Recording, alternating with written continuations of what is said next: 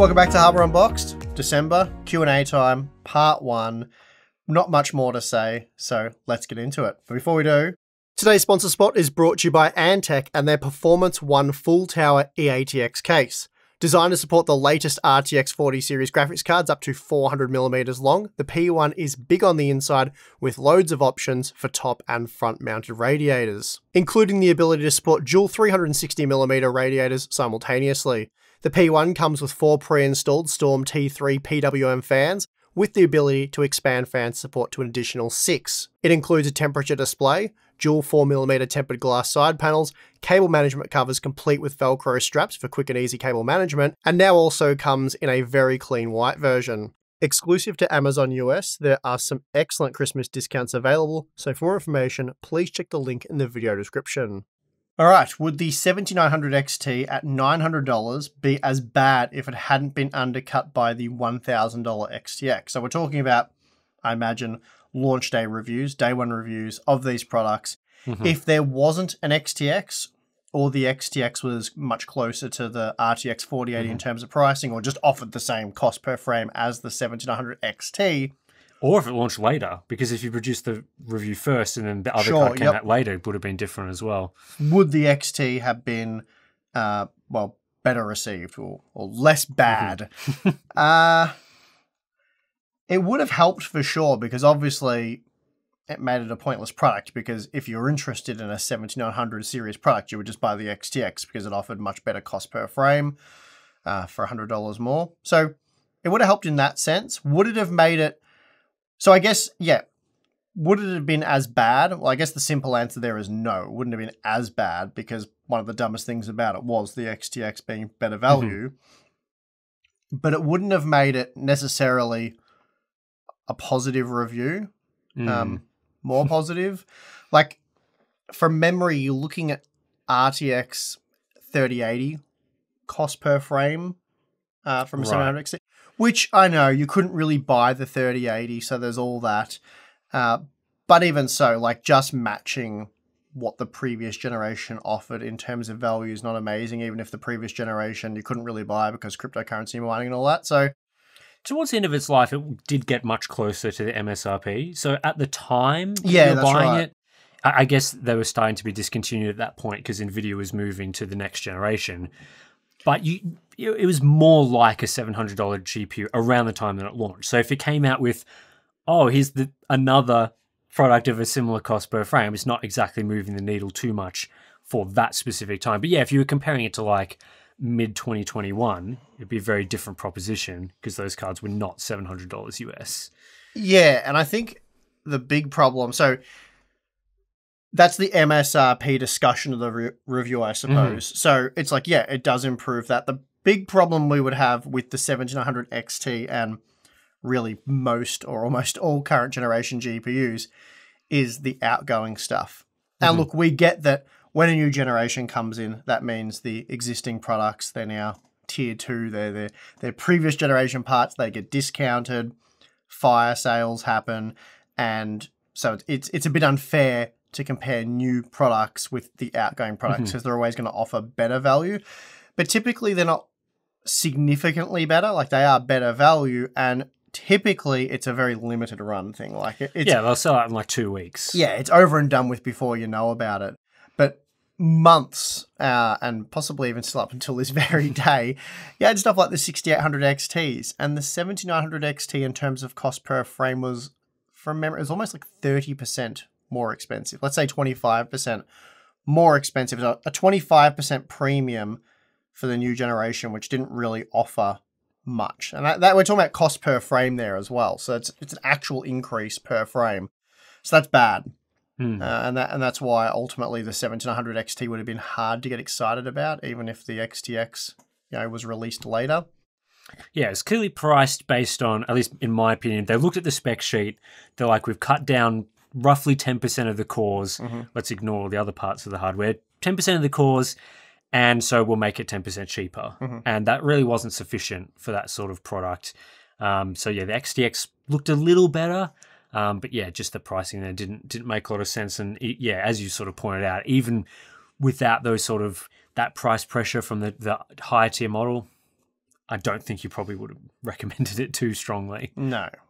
All right, we're going to do a bit of a specs on personal rigs update by the sounds mm-hmm. of it. We get these every now and then, so I guess we are we're going for it, Tim. So, sure. what are the specs of your personal rigs, and how often do you all upgrade? Do you want to go first?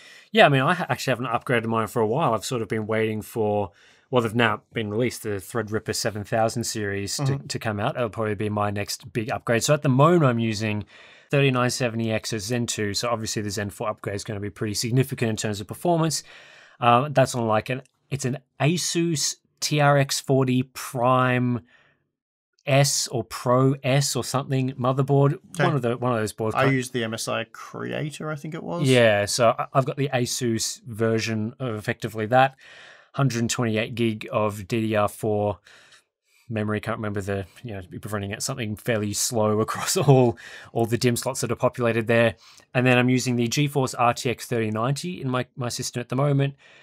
Probably should switch that over to AMD because I'm having even more display issues than usual at the moment. And oh. then I've just got like a couple of SSDs. I think I've got like a Sabrent Rocket is like my primary drive and like a Samsung nine something Pro, and I've got like a I, know, I think it's like an 850 or 1000 watt PSU. Probably Again, 980 Pro or something like that. Yeah, so it's a lot of those specs are sort of not super fresh in my mind because that system has not been updated significantly in a few years. We built now. them on. We built that system on the channel, didn't we, in a live stream? I think so. I think some of the things have been swapped in, like okay. a few changes here okay. and there. I think like the cooler, I've, I've swapped that for like a beefier Noctua model. I'm just using Noctua air cooling in it, so it's like the yeah, I did the same. The, the bigger mm. version mm. of the the TR TRX 40 coolers that they offer. Mm-hmm. And yeah, so obviously if I was doing a new build, I'd probably yeah upgrade a few things. The GPU, you know, it's a quite a power consuming system, so getting the same performance, I could get a much more efficient GPU providing pretty much the same performance, or consider switching to AMD if you know a 40 series GPU wasn't solved some of the the display things that we've talked about in the podcast lately. So yeah, I think my system is definitely due for an upgrade. So what's your system rocking at the moment? Well, it sounds like to up answer the uh, how often do we upgrade part. Mm-hmm. At least in more recent times, I upgrade much more often than you do. But mm-hmm. I don't have a regular upgrade cycle. But then who does? I suppose it's just yeah. like whenever it sort yeah. of makes sense or when there's something interesting that comes along. So I had pretty much the same system as Tim with a few mm-hmm. differences with motherboard and stuff like that. But I built it on the main channel. It stayed pretty much, you know, as we built it back then. Uh, and then in that time, we got a full time video editor for the last two years, Balin. So he needed a system. So I, I was going to upgrade to the uh, the 5995 WX Threadripper workstation from my 3970X. Uh, but I gave that to Balin to use, and we had nothing but problems. Complete, not a nightmare. We persevered for like six months. We wasted so much time with it. So in the end, I decided to build a 7950X 3D AM5 mm-hmm. system we loaded that with tons of memory. That worked really well. Great for scrubbing through timelines. It encoded at a reasonably good pace. So he was happy with that. And I used it a few times and I thought, hmm, this seems faster than my Threadripper system. So I went and purchased a 7950X 3D and upgraded my Threadripper 3970X to that. So Along with that, I, I used the Asus ROG Strix X670E-A gaming Wi-Fi because I had that from the big board roundup I did, mm-hmm, mm-hmm. and it's sort of it's got a lot of white and silver highlights on it. So I used that because I wanted to make this themed because we got some B-roll from it. This is for your workstation, cool. you need that white workstation build. You're uh, the only person uh, doing uh, that. It was for the B-roll as well, and it oh. looks good. Looks good, Tim. If you can, you should. All right. And then I've got my RGB lighting on default. Yeah, see, you got to. It's rainbow, I think. We'll get some B roll of your computer, mm-hmm. mm-hmm. Um, which we're definitely not going to get. But if we don't get it, it's because Tim didn't provide it because he was too embarrassed about his rainbow puke RGB. It's and not then, synchronized at all. I don't use any of those apps. You're an embarrassment. Mm-hmm. No, I'm joking, of course. Uh, then I'm using the Sapphire Radeon RX 6950 XT Nitro Plus Pure graphics card because we had that and I had multiple 6950 XTs. So I need one for testing. So I'm like, I'll just chuck that in my system and it's worked a treat. Um, I had that in the Threadripper system as well. So I just mm-hmm. carried that on over because it worked really well. I've got the Deepcool LS 720 ARGB 360mm AIO CPU cooler. And that I purchased myself, and that's been working very well. I bought that when I built the system because white. I got the white version. Important detail. Cool. Um, I've got 64 gigabytes of DDR5 6000 CL30 memory, which isn't white, but it looks fine. Um, bit of an oversight cool. there on the yeah. design team, but you know. Well, the B roll, yeah, you'll be getting people will be embarrassed there too. No, they. I think they'll they'll let that slide because of how right. good the system looks overall. Um, I've got an MSI. Uh, what is it? Spa- Spatium? Spatium? Spatium. I would have thought it's Spatium, but I think they say Spatium. How do we? Spa- spa- spatium. I, Spatium. Are you there, Balin? Spatium. How do you say it? Spatium. Spatium. He says Spatium. So if that's wrong, MSI. Balin's, you know, mm-hmm. downgrade system. It's always good when you have a product name that's easy to pronounce, like spa- Spatium. Yes. Love it. Yes, the monitor division probably had something to do with that. it, anyway, it's the to move on is the M641 SSD, four terabyte model. I purchased it myself. I got it because it's very cheap. It's currently three hundred and fifty dollars Australian. Mm, I should get a few of those. Uh, yeah, and it works really well. I mean, I use it as a boot drive, uh, and I've had computers super duper snappy.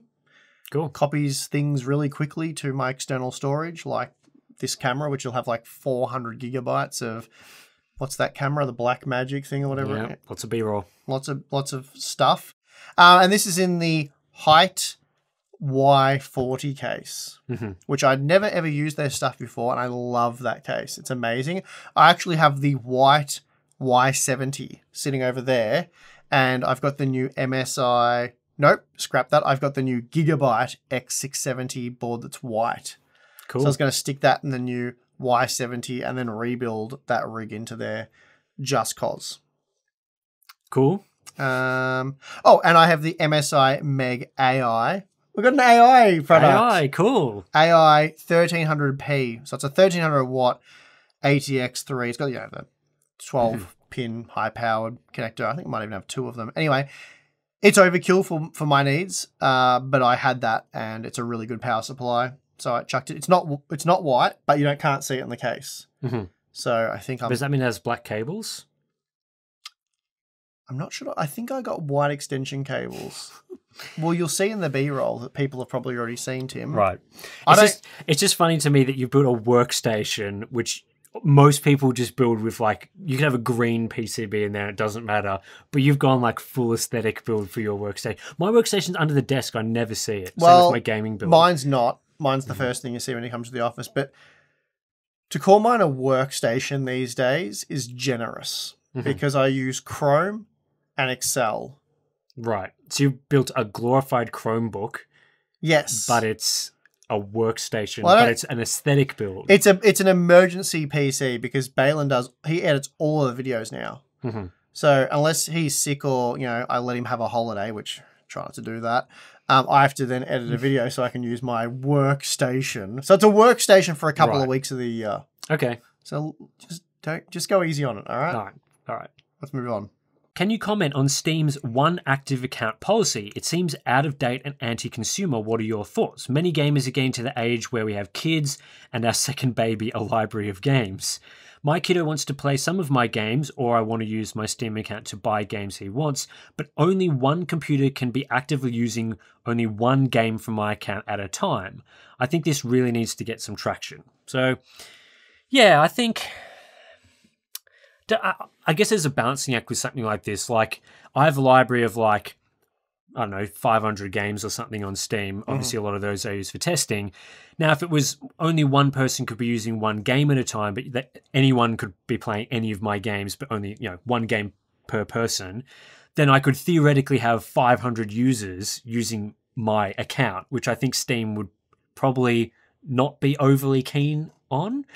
But then one person, like one person seems a bit limited to me. Like if I yeah. bought 500 games, surely more than one person could be using like one person be playing Starfield while another person's playing The Witcher, another person's playing Cyberpunk, another person's playing Call of Duty, all on my account. I think that would make a lot more sense because like you know you can get netflix accounts and all those sort of like streaming apps where you can have family plans and family profiles so that multiple people can use them so i think that yeah that the policy does seem a little outdated to me but I don't think it should be, you know, 500 people using. No, two or three games. is reasonable. It's worse.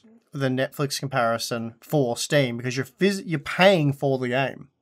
Yeah, you're, that's right. You're not paying to subscribe to access to games. Now, I know the game developers would come back and say, well, you're not buying the game, you're buying a license to use our software, technically speaking. Or, mm. you know, oh, you know, we can take, because they've removed games from Steam and you've got no recourse, they just take it away. Yeah, that's right. Which is online games. Yeah, which for anyone who's older than 12 is not a great argument because you used to actually buy the game. You used to buy, buy a physical disc. For the same money. Exactly. And you can still do yeah. that if you own like a, a, console, like a PS5. Yeah. You can buy a physical game, and once you're done with it, you can literally just give it to your friend mm-hmm. and they can play the game. Like there's, so, there's no limitation there yeah, I, I totally agree with this that this is something that could be improved. The problem we've got with it is the fact that Steam is pretty much one of the leading or best services for the convenience of logging in and doing all that sort of stuff. Like there is mm-hmm. stuff like Family View, which doesn't solve the problem, but for example, what is it? Well, I don't even know what they. What is it? EA. What is the EA one now called? EA Play. EA Play used to be Origin. Um, I try not to. I it's horrible. really try not to horrible. use it at all. Uh, Uconnect or whatever Ubisoft's one is, um, a few others, but basically all of uh, Epic Game Store doesn't have this problem, but the the Ubisoft and EA ones, you can only log in mm-hmm. to the software on one device at one time. So if you have which is just to be clear, hilariously terrible. Awful. Terrible. So if you if you play games on your home PC and you play them on you know, well, your home gaming PC and maybe a home theater PC as well, you do more casual gaming over there, mm-hmm. driving stuff, all that kind of with Steam, you can have Steam installed on both of those systems, open mm-hmm. at the mm-hmm. same time, and you know one can update and they can do like network sharing or they can both update essentially if you leave it open all your games should be updated at all times with ea play or whatever you can only you can have it installed on both systems but you can only be logged in to one system and if you log mm-hmm. so if mm-hmm. you're logged in on your desktop and it's just sitting there idle with the the store open and you log in on your home theater PC, it actually logs that one out. Mm-hmm. And it's not a it's not as simple as going back over there and going, oh, that's annoying. Log in. You have to actually type your username and password in oh, again. so bad. And then if you haven't logged out on the home theater PC before doing that, it then logs that out. And it's just this constant back and mm, forth. It's terrible. It's awful. And then if someone does log in there while you're gaming, it will boot you from the game, whereas Steam doesn't have that. And also, if you're trying to play a game, it'll warn you that someone's using the Steam account. You know, do you want to continue or not? So again, while I think that that is something that would be a huge improvement to Steam and really something that mm-hmm. we should be entitled to, I feel like Steam users should probably be entitled to. Yeah, like I think there's a there's a better balancing act than what they've got at the moment. Yeah, like there, there's got to be a scenario where I don't know if it's like you know they geo fence it to a certain location so you can't just be like selling your account access to someone in another region which would be obviously not ideal. It should be more for like your your family or friends in your sort of local area. You know, there's probably some solution that they could come up with where, yeah, you could be playing, you know, family members in your house can be playing a variety of your games on your account at the same time. That's very reasonable. It's very fair for developers and sort of yeah incentivizes people to build these big steam libraries especially because yeah there might be a game that you're not super interested in playing but the incentive would be you add it to your library you pay for it and then you know some someone else can be accessing yeah. even game. the region thing it's like chances are if you're sharing with someone in the us or whatever you're not going to be gaming at the same time it's be yeah. very low overlap but boiling all this down it's it's as simple as nothing here is going to change unless a mm-hmm. huge percentage of steam users were fed up with it and you know they wanted to see some change there because if there was a genuine competitor, and I mean, I mean, we talked in the podcast uh, the podcast episode recently about how bad the Epic Game Store is, and mm-hmm. this feels like something that and and, and the know, Epic Game Store is much better than EA well, Play and Ubisoft's crap. Well, that's true, but if they if they're coming up with like what's a unique feature, and a unique selling point that would mm-hmm. get people to genuinely change their mind about Epic being horrible it would be a feature like you can buy games and more than one person can be using your library at the same time. I'm not actually sure what Epic's policy is on that, but I can't imagine it's anyone can just play any game at the one time. It seems pretty unlikely. Mm-hmm. No, so, I'm pretty certain you can't. Yeah, um, so yeah, I think that that would be something to bring competition to Steam that would make, you know, bring some incentives for the Epic Game Store, but the Epic Game Store is obviously missing even some pretty basic things that Steam has, so they should probably get those things working properly, like installing and updating games is probably one of the things they should get right 1st mm-hmm. So yeah, but yeah, having two people be able to use the same account at the same time, but not be able to play the exact same game, but two separate games. Mm-hmm. That seems like that makes that would sense. be a massive draw card. Like yeah. I'd want to invest a lot of my money on the platform that offers that, even if it had a lot of other shortcomings, mm-hmm. because. Uh, you know, I've got kids as well, and it's really annoying when I buy like a ninety dollar Australian 100 120 dollar game, and yeah, for example, the Avatar game was a recent one. I bought that for testing on my account. My daughter loves Avatar, so then I had to turn around and buy it for her on her account so she'd actually play it because I had mm-hmm. to do testing. So yeah, that's really annoying. so yeah, maybe if it's even like you you're within your family unit you get a discount for buying like a second copy like a significant discount i mean that's that would be obviously Better want full price yeah i mean obviously it'd be ideal that they could just use it but you know if they're trying to balance up you know developers getting angry about all sorts of different things. That's one potential option as well. But yeah, the current situation needs to be improved. But as you say, I don't think it will for various different reasons, competition being the main one. Mm-hmm. Given that AMD is planning to release more AM4 X3D CPUs, how long do you think the AM4 platform will remain viable for use, especially gaming?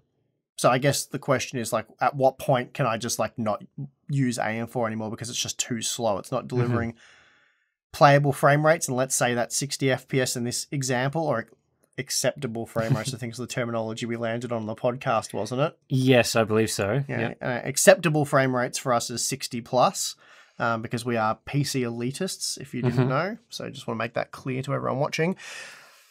Well, the 5800X 3D, and I know core count comes up a lot in these topics, which is still baffling to this day, given how much actual scientific data there has been that proves that core count's not really important. It's about overall CPU performance.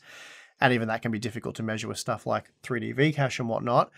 But really, we know if you take a huge range of games, let's say 30 plus games, and then you take the average performance seen across those 30 plus games, we know that like the 5800X 3D lands somewhere around like a Ryzen 5 7600 slash Ryzen 7 7700. So the, the non 3D mm-hmm. Vcache Zen 4 parts. It's about there. So in, a, in, in an example like a 5800X 3D, for that CPU not to be really usable anymore and pretty crap, you'd have to say the same about the 7600 and the 7700. Uh, unless the only thing that complicates this issue is like memory bandwidth, DDR4 to DDR5 but I think it's going to be a while before that's really a significant factor. So mm-hmm. CPU performance similar to to those, and then I guess when we are talking about AM4, we're primarily talking about the end of the road, which is the Ryzen 5000 series CPUs. I think it's going to be quite a while before those CPUs are like not delivering 60 FPS in most games. I know there's probably like games like Hogwarts Legacy with ray tracing enabled and maybe Star. Although Starfield performance has been improved quite a lot, um, mm-hmm. CPU performance. So they, I imagine they're doing over 60 FPS now. But yeah, they're not going to just fall off a cliff out of nowhere. Uh, the CPUs that they've always been roughly equal to will will phase out at the same time. Yep. Would you say the best time to buy any graphics card is on release uh, instead of waiting for sales? Maybe maximizing time with the product actually uh, offers the best value in terms of dollar per day of ownership. So, should you buy the product right away the second it's out at presumably the MSRP full price, or mm-hmm. hold out months hoping that there'll be a discount to get it a bit cheaper? But doing so means that you've had less time to actually enjoy the product and and mm-hmm. maximize your value, your time with that product.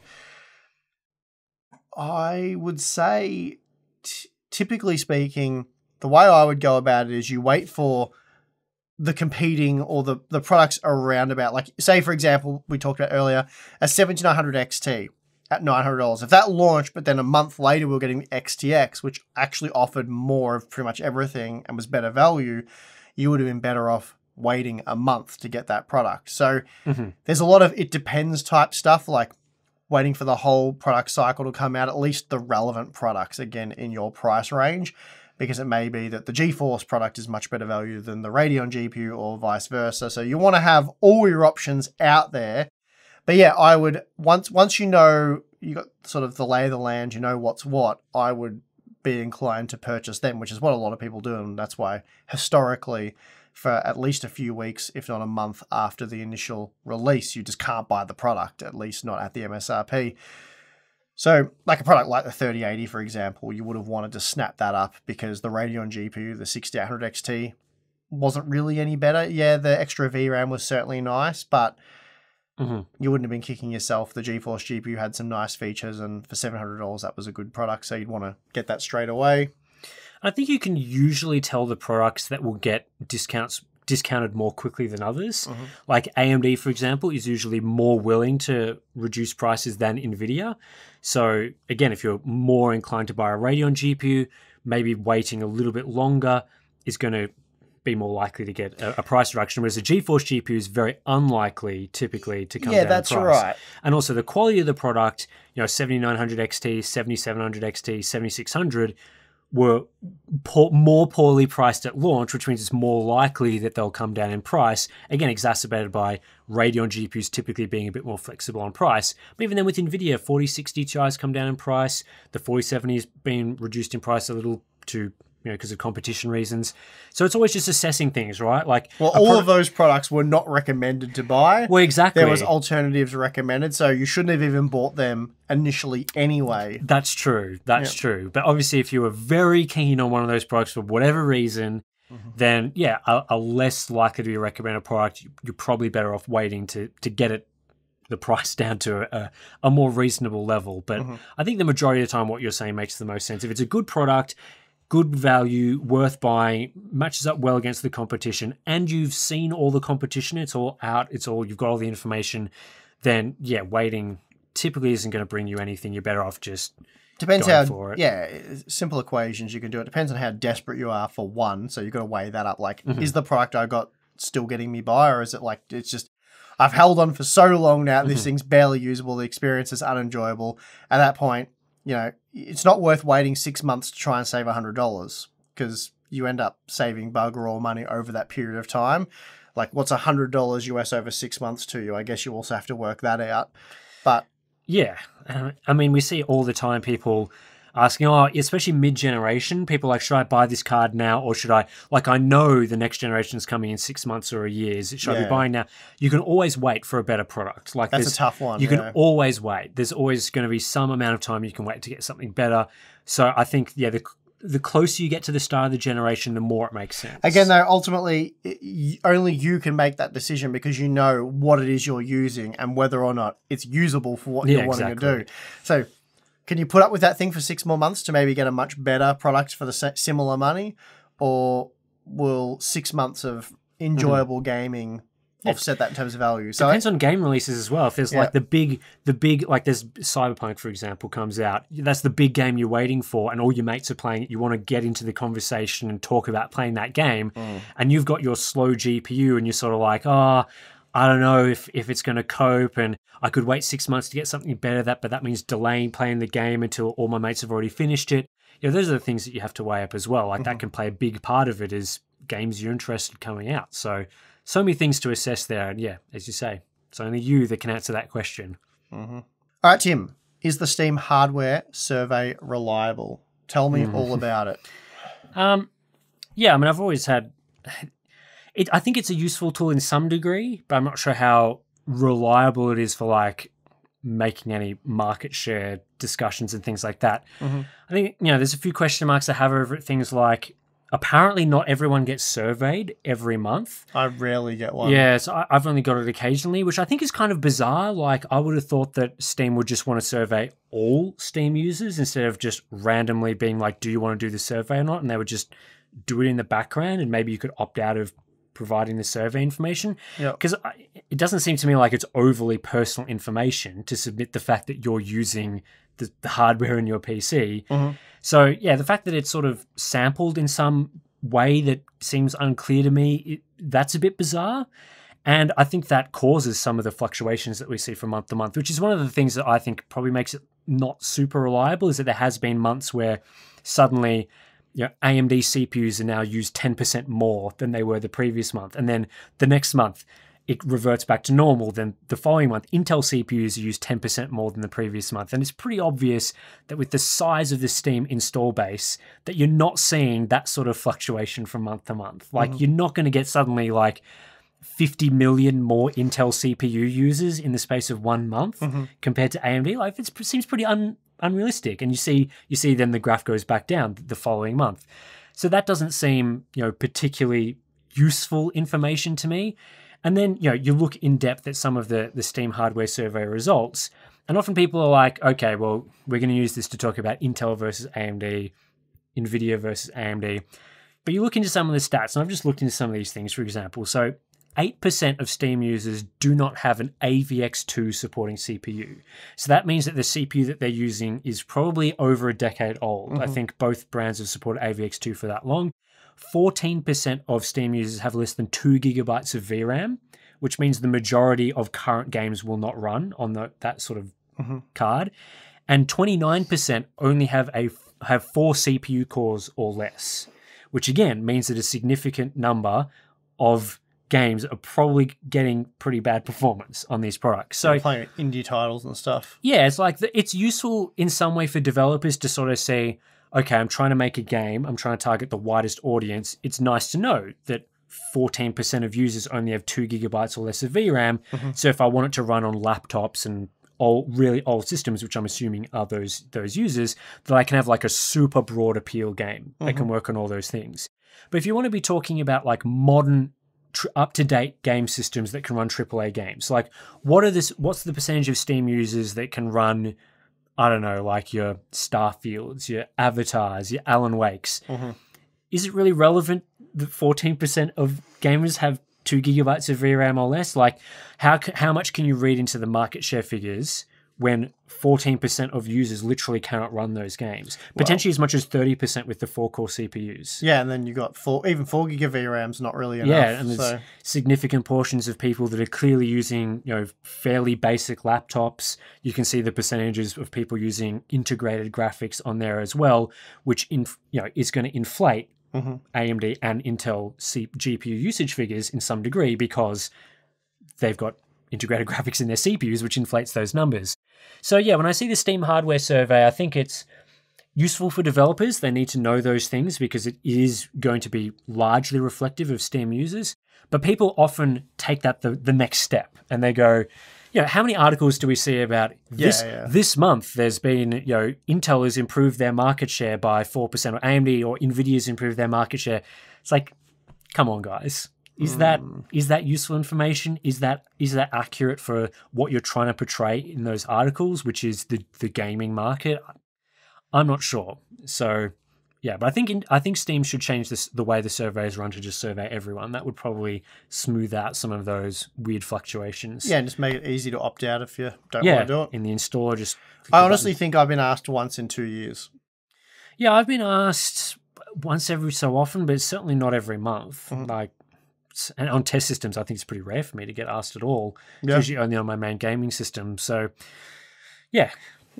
All right. Tim has added in one of those questions that's very specific to an individual user, but I think well, it must have been heavily upvoted, and I've, I've got an answer for it. So, sure, we'll go for it. it. Is it smart to upgrade to a 7800X 3D from a 5600X, so AM4 to AM5, or should I just wait for the next AMD CPU release? So right, you're basically building a new computer. Like it's a full mm-hmm. platform upgrade. You need new motherboard, new memory, new CPU. I don't want to answer this question at all. Not because I've got anything against the person who asked the question, because it's a. It, depends. depends. How many times have we pulled that out so far? Yeah. It's been a few. It depends. Yeah. And it depends on do you even do you need to upgrade? Like, uh, you're asking this sort of question, I suppose, because uh, I have to assume that the 5600X is no longer meeting your needs, mm-hmm. or maybe you feel like it's not. I'm not 100% sure what the sort of the reasons are, but first of all, when it comes to an upgrade, you've really got to be like, well, I need to upgrade. The 5600X is, I find it hard to believe that CPU is not really performing in games. It's still quite a good CPU, but let's just say you've concluded that the CPU is no good, you have to upgrade. Well, at that point, you have to upgrade. So what are the the viable upgrade options? And really, the 700X3D is probably going to be the best upgrade option there. Mm-hmm. Um, I mean, how much faster is it than a 5600X? Like 40%? 50% faster? It's one of those things where it, it it varies wildly. It can be more than 80%. Like it could be 100% faster. Yeah, but also it's I'm assuming that this person has probably purchased a 5600X for less than the current price of the 7800X 3D. Absolutely. So sort of like, could you wait another generation and potentially get that performance at a similar price to what you paid? And then again, that that's it depends. It comes down to the individual. Are you willing to wait? Are you willing to wait? Yeah. How desperate are you for this upgrade? The 5600X is mostly fine. You're just like, hmm, mm-hmm. this is pretty good, but it could be better. It's like, well, there's enough performance there to make that makes sense. You're not getting like 10 or 20% more performance, in which case it'd just be like, don't it, bother with that. but where else? It also depends on the games you're playing. So if you're playing single player games, 1440p, mm-hmm. then the CPU upgrade's not going to be that significant for the most part. There will certainly be, you know, we're seeing very CPU limited games like Hogwarts Legacy, especially ray tracing enabled, Starfield, and stuff like that. So if the 5600X is only producing, I don't even know what it does in Starfield. I can't remember. You'd have to mm-hmm. refer to some benchmarking there. But let's say it's just struggling with 60 FPS and you're really like, I need 90 FPS as my minimum, then yeah, the upgrade will be worth it. And a 7800, 7800X 3D is a really good way to go there. Um, or mm-hmm. maybe even a 7600 that's less of a, since you have to buy the motherboard, the memory, and all that, spending a bit more on the CPU is probably pretty easy to justify there. And yeah, again, the games you play. If it's single player games, probably less likely, but there's still a case to be made. If you're playing esports type games, again, Apex Legends, Warzone, or just Call of Duty, Fortnite, and the list goes on and on and on. Um, Counter Strike 2, for example, and you want as many frames per second as possible, you want to make sure your frame rate stays above 200, 300, whatever it may be, then again, the CPU upgrade there is going to be worth it. Yeah, a lot of it depends, and really it depends on the individual how mm-hmm. what it is they want to achieve. Uh, and that's why testing CPUs with high end GPUs and people complain about that. It's it's, it's irrelevant because you really want to know what the CPU can deliver. How many frames can it deliver? Because if you want 200 frames, you need to know can the CPU actually deliver 200 frames. You don't want to see it tested with a GPU that limits you to 150 FPS because that's just mm-hmm. useless.